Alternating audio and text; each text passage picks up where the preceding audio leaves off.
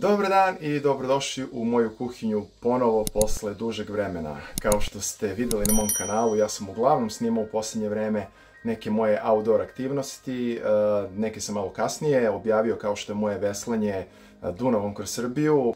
Pogledajte ovde link od cele serije, cela serija je sada kompletirana. Danas ćemo znači, za promjenu malo da spremamo nešto što ja spremam za Božić, znači danas je badnji dan i danas spremam prebranac. Siguran sam da ste bar jednom probali prebranac, ja ga jedem čak i malo češće. Uglavnom pokazat ću vam kako to spremam, znači to je posni prebranac u pitanju i uz prebranac ću spremiti pogaču jednu od nekih raznih brašna, nešto ću da pomešam i plan je da uradim i jednu i drugu u isto vreme.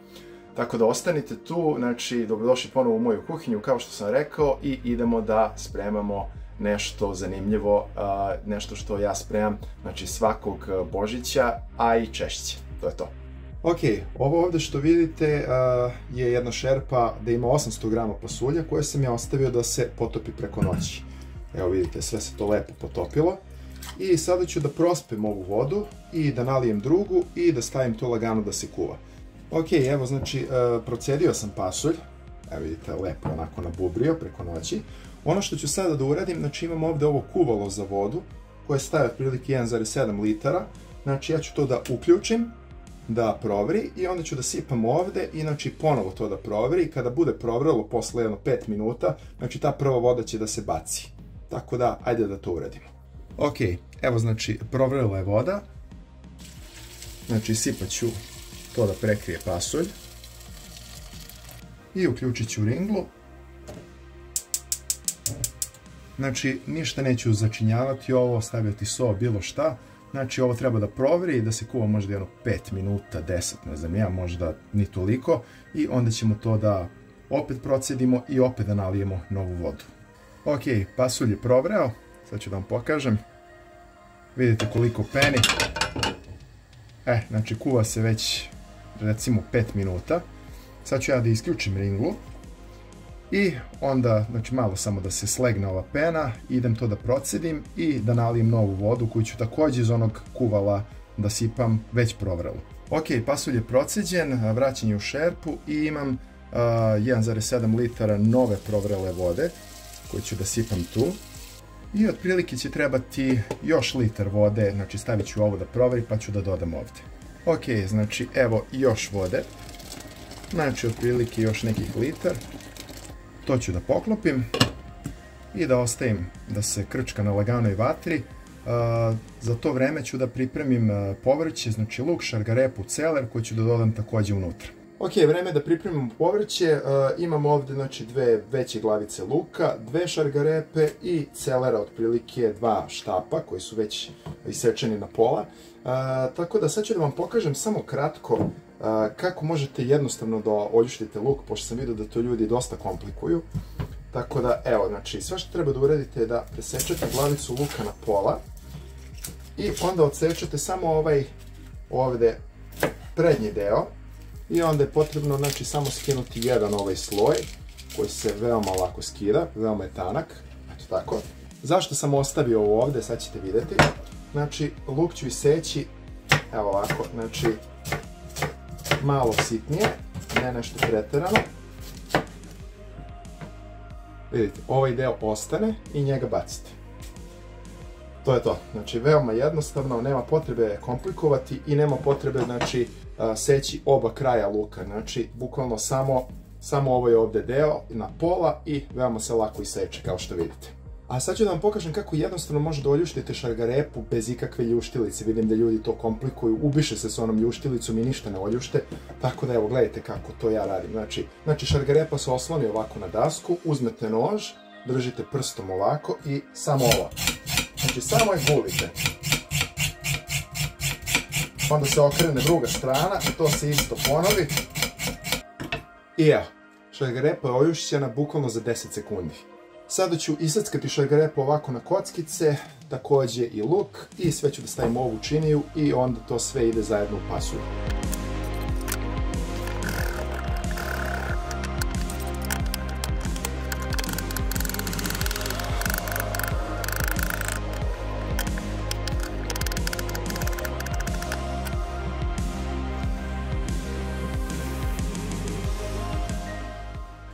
Ok, dodajemo povrće. Znači tako malo promešam. Ovo nije uobičajeno, ali e, dodat ću malo kurkume. E, kurkuma pomaže da se čak malo brže skuva e, pasulj, a i bit će laganije za stomak, tako da to mu sigurno može pomoći. Znači to je jako mala količina. Dodat ću i pet ovih suvih paprika. To su one paprike na pijaci što se prodaju uvek oko Božića i Uskrsa. Znate o čemu pričam. E, tako, znači, pet tih paprika, znači to je pola one veze, ubacit ću ovde. I sad ostavljamo nekih sat vremena to da se kuva, otprilike na laganoj vatri. Ok, videli ste, pasulj sam stavio a, da se kuva, pripremio sam sve i znači neki sat vremena će se kuvati. Dok se to kuva, ja ću da iskoristim vreme da umesim pogaču. Sad ću da vam pokažem kako to radim. Znači, to je neki tradicionalni način, koristim kvasac, tako da sad ću da vam pokažem. Ok, ovde imam sve spremno za proju. Ovde sam pomešao brašno, znači ovo je neko domaće brašno sa vodenice, žuto, kukuruzno, ovo je heljino i ovo je belo brašno. A ovde ću sada da pripremim znači, kvasac u ovi džezvici, ja volim džezvicu da koristim. Prvo što ću uraditi je jednu ovu meru soli, što je otprilike jedna kašičica, ću da dodam u brašno, a jednu kašičicu ovog žutog šećera, evo vidi se, jednu ravnu kašičicu, bukvalno ću da dodam u ovu vodu za kvasac.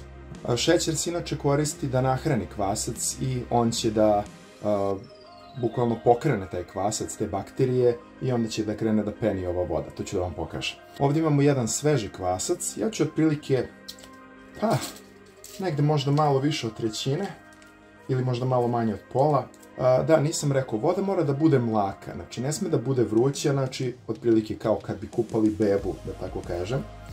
Evo, i znači to ćemo da pomešamo da se kvasac otopi. Takođe ono što treba još da dodamo u ovu vodu sa kvascem je ovako otprilike jedan veliki prstokvat ili kašiku ovog belog brašna i to ćemo isto da pomešamo. E, i sad samo čekamo da ovo krene da peni, bukvalno da izlazi ovako iz posude. Kad to bude gotovo, onda ćemo to da sipamo u smesu ovde i da mesimo. Ok, evo, kvasac je narastao, vidite samo što ne iskuči iz ove džezve. Uh, ja sam malo promešao ova brašna, evo još malo. Malo ću da promešam i ovaj kvasac. Evo vidite kako to izgleda. I polako ću krenuti da ga dodajem u vodu sve vreme mešajući sa ovom varjačom.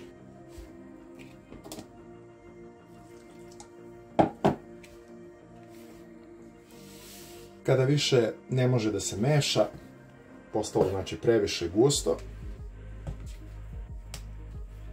sipaću sve na ovu ovde radnu površinu i onda ću krenuti da mesim ovo rukama i da sjedinjujem sve u jedno.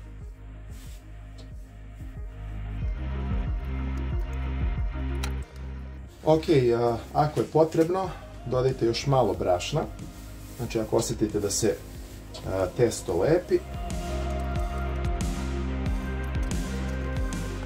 Ok, kad smo sve sjedinili, a, kao što vidite, znači ništa brašna nije ostalo, testo se više ne lepi. Sada je potrebno da ovo testo dobro umesimo. Znači, to će trebati jedno par minuta. Evo, sad ću vam pokažem kako ja to radim. Znači, guram na jednu stranu, pa na drugu. I to tako ponavljam nekoliko minuta. I evo vidite, testo je lepo i glatko, sada ćemo da ga ostavimo malo da odmori, kako se to kaže. Znači, bit će potrebno da ostoji bar jedno pola sata 40 minuta, a nakon toga ćemo da ga pripremimo za pečenje.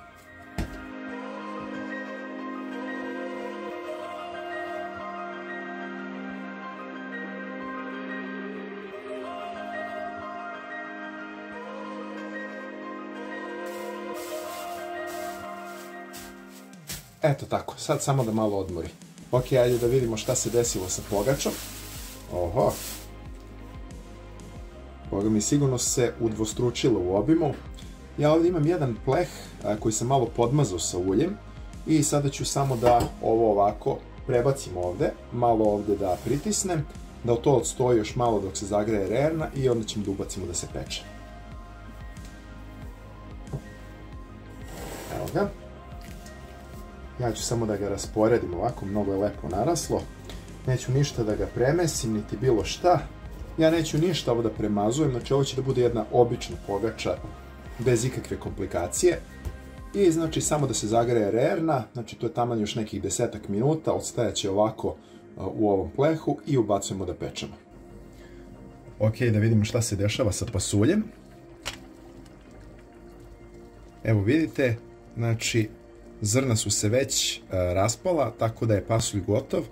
Znači isključit ćemo ga, ostavit ćemo malo da odstoji, a onda ćemo da ga pripremimo za pečenje i pripremit ćemo zaprašku. Ok, vreme je da ubacimo našu pogaču. Evo još malo je dodatno naraslo u ovom plehu. Ja sam je malo izbušio sa viljuškom. Ide ovu vernu, znači na nekih 180 do 200 stepeni, nekih 40 minuta. A sad idemo da završimo pasulj. Ok, videli ste, znači, uh, pogača se peče, sad ćemo da pripremimo naš uh, pasulj, znači da se procedi, da se stavi u jednu vatrostalnu uh, posudu i napravit ćemo zaprašku. Znači, ja obično ne pravim često zaprašku sa uljem i sa brašnom, znači nemamo uopšte masnoće, treba nečeg, nečeg malog da bude ovaj, masnog. Tako da ja ću da malo belog luka na hladno ceđenom suncokrtovom ulju propržim i onda ću da dodam malo brašna, oleve, paprike i možda malo, malo kurkume i onda ćemo to da dodamo zajedno sa pasuljem i da stavimo da se peče u rernu kada se ispeče pogača.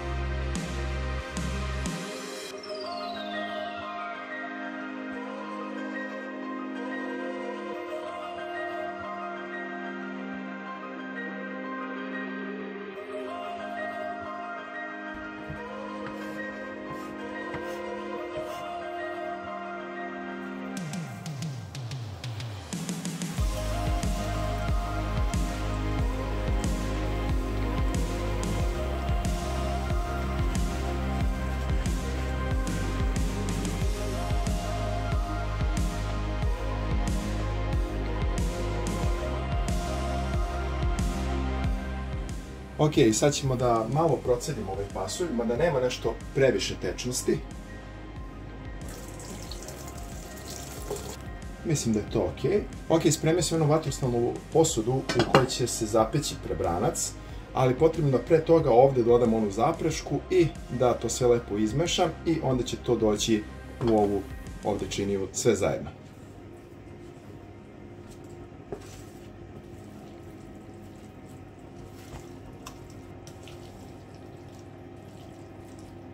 Ok, znači izmešao sam pasulj sa zapraškom i ovaj, zapravo količina je malo veća, pa će trebati dve posude, neće sve moći da stane u jednu, tako da ću napuniti prvo ovu veću, pa ono što ostane u ovu manju.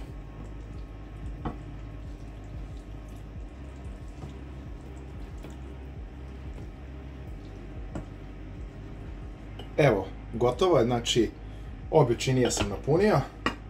Sačekamo, znači, samo da se pogača ispeče i onda ovo ubacujemo u rernu i to je gotovo. Ok, uh, pogača nam je gotova, pa da vidimo šta je ispalo. Oho, vidi ga. Aha, lepa pogača. Super se ispekla, malo ću da je pokrijem krpom i da odstoji malo da se otpusti, a za to vreme ćemo da stavimo pasulj.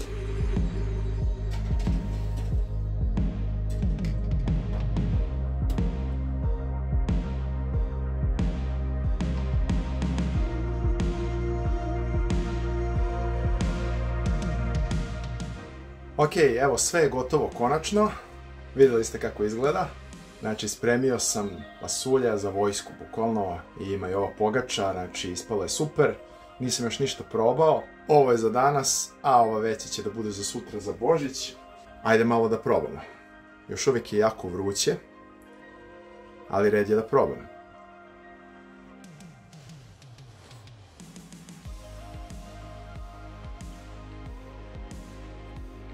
Može. ne spravim nešto često u posljednje vreme, ali, ovaj, ali jako dobro ispalo. Znači, evo vidite, lepo zapečeno, lepo zaprženo, znači sa zaprškom je, može i bez zaprške, ovaj put Božić je, pa neka bude onako kako svi spremaju. Pogača je dobro ispala, evo vidi se jako lepo koricu ima dole. Malo ću da je odlomim da probam.